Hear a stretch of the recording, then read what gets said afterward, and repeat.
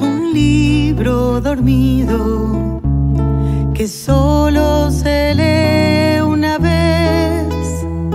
Después que devela secretos, se va para siempre lo que hay que saber. La tierra que es madre amorosa resguarda a sus hijos del mal y sus restos sencillos para